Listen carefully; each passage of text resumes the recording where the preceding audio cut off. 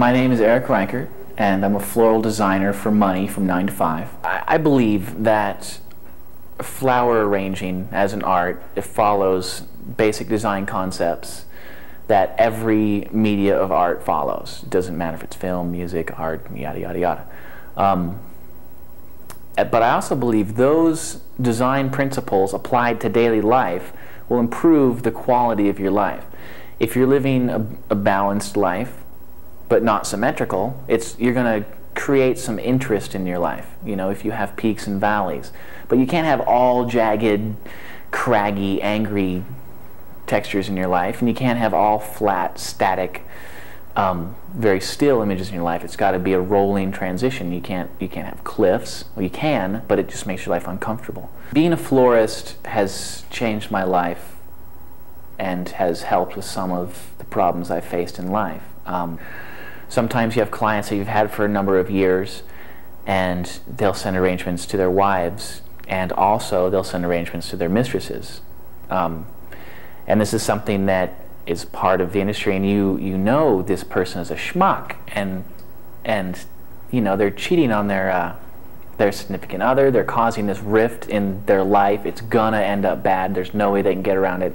But I'm still forced to do the best most beautiful job I can. A good florist has to have an eye for color balance basic design concepts um, but it has to be a person willing to uh, to have some compassion for other people. I mean, there's no way you're going to make a sensitive arrangement if if you don't care about what who you're sending the product out to, you know, and what the situation is. I mean, I go home from work and I'm devastated sometimes uh, because of what I've had to do that day, and all I've had to do is make beautiful things. It's kind of a contradiction, but it's it's true. I mean, I make these beautiful, beautiful flowers to try to ease somebody's pain, you know, or heighten somebody's joy. And that's, that's what makes me a good florist, is that I care. Um, I've had this, I don't know, kind of a gift. Uh, and it's I'll, I'll make art, usually drawings, you know, when I was younger. Uh, and then I'd meet someone and I'd say to myself, this drawing is for you. And I'd be right. You know, I'd give it to them and they'd speak to them in a way that I, you know, really had no business knowing. And with flowers, what I found is that it's the perfect medium for this gift because I can look at the arrangement, see the name of the person, where they live, why they're getting the arrangement, and I get this sense of what it is they want. And more often than not, when I talk to someone I've given flowers to, they say this is just exactly what I needed. I often make arrangements for myself. I, uh, I generally use the flowers that are left over from weekly accounts that we like get back in the shop and they're not sellable anymore. I think a lot of there's a lot of joy in flowers watching them die uh, because it's a it's a it's the continuation of their cycle. They grow off the plant, they bloom, uh, they get pollinated, they spread some seeds, they wilt, and they fall back to the ground. And, and this whole wilting process can be quite beautiful. Uh, there's certain kinds of French tulips. They they bloom beautifully and they hold for a while, and as they die, people throw them away. Well, what happens is, as these petals come down, they, they twist and they contort into these really fascinating, uh, almost fractal images, and then they fall off one by one. They never all fall at the same time.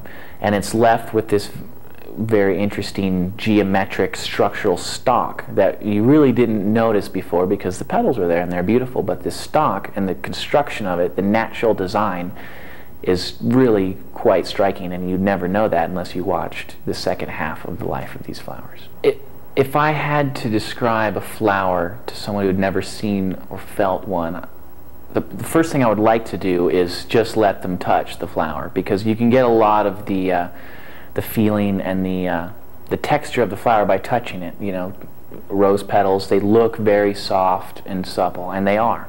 And when you touch them, you, you might not know it's a red rose, um, but you would get the rose, the impression of the rose. You know, I think without flowers and without beauty that they represent, our lives would be, you know, mechanical black box wastelands, and it would just, you know, there'd be no point in going on.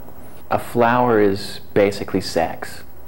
Um, it's its entire function is uh, to attract bodies to it to pollinate and reproduce its species. Um, and so for me, it's just, it's, it's the most natural physical representation of intimate passion that nature can provide. It's over the millions of years, it's been, you know, through, uh, through competition and evolution, these sex organs have just become more and more inflated and uh, dramatic and beautiful. And I am extraordinarily attracted to that.